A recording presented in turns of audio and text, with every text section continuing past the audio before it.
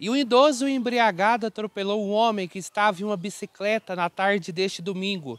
O atropelamento aconteceu no cruzamento da Avenida João Naves de Ávila, entre os bairros Santa Mônica, Saraiva e bairro Lagoinha, na cidade de Uberlândia.